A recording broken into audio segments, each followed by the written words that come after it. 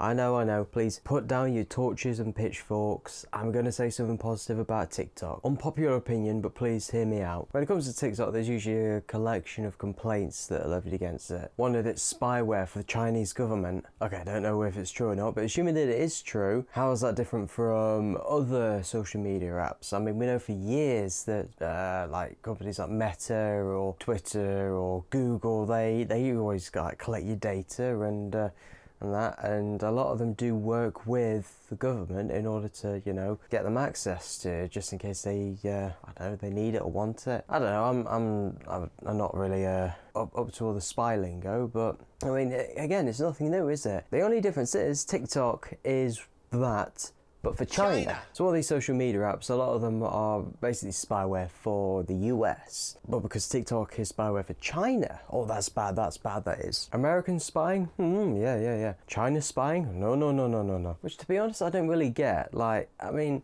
what is the CCP going to do about it if you're in your own country? Like, what, what are they going to do to you? And to me, as a British person, like, why should I care whether the US or China know that I like cat videos or memes? Practically the same to me. I know I'm not going to become a shill for the CCP. I mean, China has done like awful, awful things, like from the Tiananmen Square massacre to the treatment of the Uyghur people and many other ethnic minorities within the country. And what about the shorter attention span that people saying that TikTok is uh, like inflicting inflicting upon us, like inflict upon our youth and making them, I don't know, like paying less attention. Well, children have a shorter attention span anyway. That's just you know, part of growing up. Maybe exacerbating, but it's not creating anything. It's just exploiting something that's already there, which I'm not going to defend. That's just capitalism. Again, that is something that every other social media company does. But TikTok is danger to kids. It's making them do all sorts of silly and dangerous stuff. Well, yes, it is. Unfortunately, that content is something that kids engage with, and the engagement is something that boosts that in the algorithm, that therefore introduces that to more and more people. That is also an unfortunate side effect. Again, I'm not going to defend TikTok for that. That is something they do need to sort out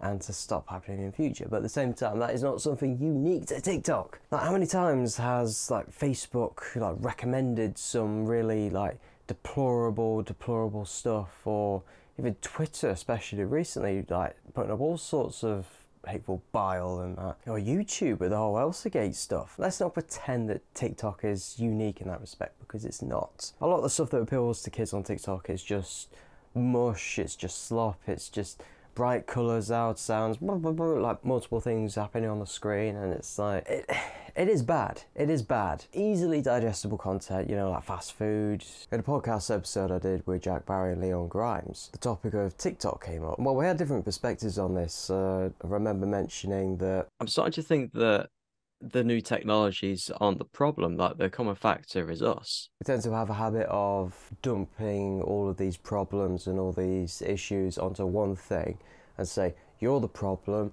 And if we excise that from society, all our problems will be fine and uh, we'll be happy and better for it. I stand by what I say that um, as a society, we should take more responsibility on what our kids see. Like, children are the most vulnerable against exploitation and uh, I mean counting advertising mon- monetary exploitation in that as well. And that is generally something we can do by legislation and laws which unfortunately is decided by people like this. So if I have TikTok app on my phone and my phone is on my home Wi-Fi network does TikTok access that network?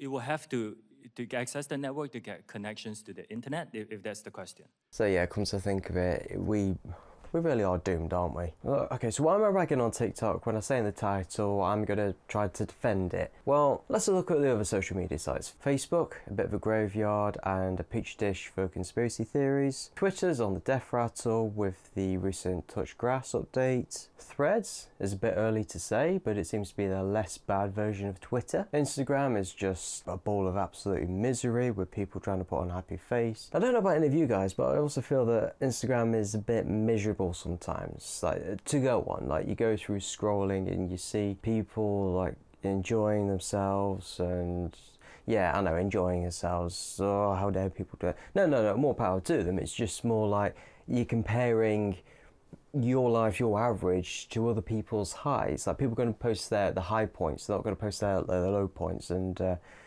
uh, you see these people enjoying themselves, like the their the best moments, and you can't help but think to yourself that yeah, yeah, my my life sucks compared to that. Like I know that's not the case. I have the self awareness to know that isn't the case, but my reptile brain can't wrap its head around that. So yeah, for for me, I just find it a bit miserable because even though it does have the um, the the potential, like for people to show off their artwork, let's say uh, photographers or illustrators, it's kind of eclipsed by um, just the, the more social aspects of it, like people posting things like, oh, I met my friends today, oh, I'm with this group of people today, oh, I went here today, and projection on my part, I, I am aware, but uh, I don't know. Do, do any of you feel this way? Be, being interesting to see. But that's why I wanted to look at TikTok. A lot of the other other apps, let's say Facebook, Twitter, I don't think have that much of a an artistic expression. I think uh, Instagram does have that potential, even though it does have some of the negative elements as well. But then again, I think the same with TikTok. That I think that there is genuine means of artistic expression that could be done on TikTok. That's as opposed to Vine, which had the limit of seven seconds. You have a greater time limit to, to play with.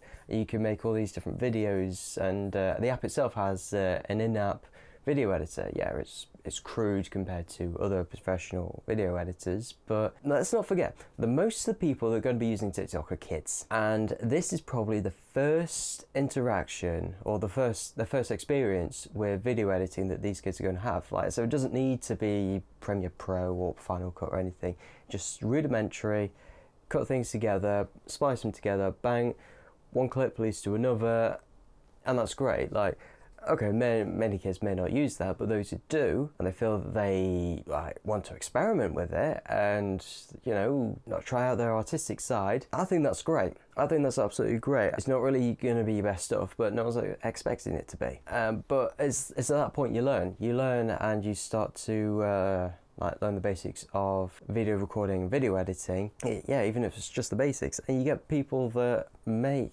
actually pretty good stuff on TikTok. Like they use the the medium as a fun and expressive tool, and yeah, I, yeah, got to commend them for that. I think those are going to be the next. Uh, the next generation of filmmakers. In 40 years' time, we're going to see an interview with this brand new like filmmaker, like fresh out the gate and saying that their first experience with filmmaking was from TikTok. That is going to make me feel old, but at the same time, I can't I can't hate it. I can't hate it. In conclusion, TikTok as a company, bad, but there are quite a few TikTokers on there that have a lot of potential. And I wish them nothing but the best. Really want to see what happens with this. So uh, yeah, uh, that's that's what I have to think. It's probably a hot take, but hey, that, that's that's my opinion. And I guess you have your own. If you do, let me know. Tell me where I'm wrong, and uh, yeah, see you later.